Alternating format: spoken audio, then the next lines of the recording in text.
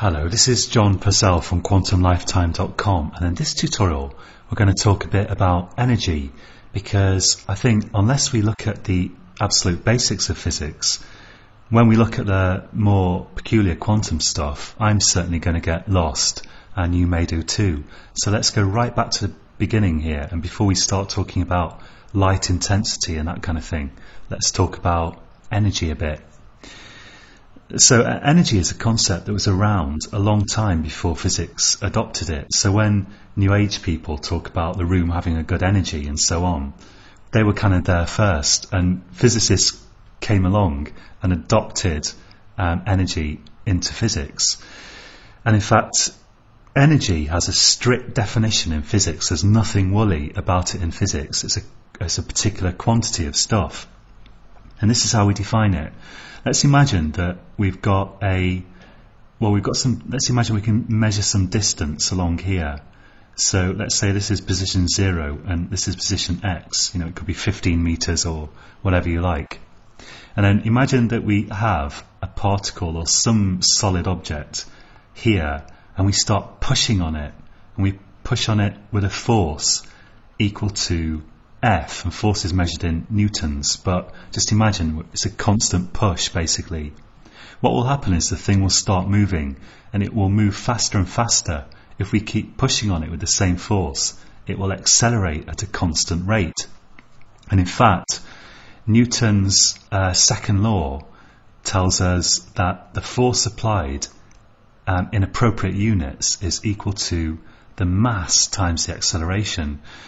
So uh, for a given force, we'll get a given acceleration, and for heavier things, they're going to accelerate more slowly, and lighter things are going to accelerate faster for the same force. Or if you see a thing moving, accelerating at a particular rate, it's getting faster and faster at a particular rate, then if it's very light, you can infer that there's only a light force pushing it. And if it's very heavy, you can infer there's a big force pushing it. So that's that's Newton's second law, and this thing's going to get faster and faster at a rate which depends on its mass. So it might start off at it's going to start off at zero, um, at a speed of zero, and let's say after a second it has a speed of maybe five meters per second, and at another second it's got a speed of 10 meters per second, and then 15 meters per second after three seconds. So its acceleration in that case would be three meters, would be five meters per second per second. 5 meters per second per second, that's a measure of acceleration. And when it gets to here, it's going to have a speed, final speed v, let's say. And we're going to take a, a bit more of a look at this setup in the next tutorial. But what I want to note here is that we say that there's this notion of work done, like the, the kind of work that you had to do in accelerating this up to this speed over this distance or pushing on it for this amount of time.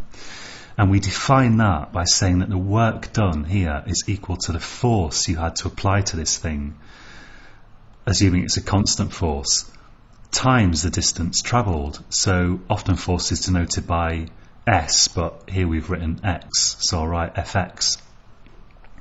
So the work that's the definition of this abstract quantity called work, is the force applied times the distance that it was applied for. And in fact, energy is the stored ability to do work, or you could also think of it as being um, the work done is the amount of energy that has been that has changed form. So when we finished here, we've expended an amount of energy equal to force times the distance. And this thing now contains what we call kinetic energy because it's moving. We, we see it as having energy, and that energy is quantitatively equal to the force times the distance um, that it was accelerated through.